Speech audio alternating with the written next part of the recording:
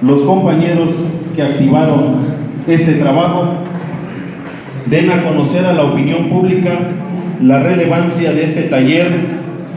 porque nos estamos estudiando y sobre todo estamos consolidando las dimensiones comunitarias, las dimensiones pedagógicas y las dimensiones administrativas. La sección 22 camina fuerte, camina con esta propuesta y como ya lo escucharon, los investigadores, los intelectuales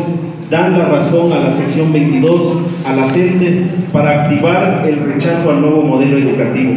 Y en las aulas, nuestros compañeros de base en los diferentes niveles estarán haciendo lo propio con los padres de familia, porque hemos demostrado los alcances de estos proyectos y la compartencia que los padres de familia incluyen, porque el nuevo modelo educativo lo que pretende es generar la inclusión del inglés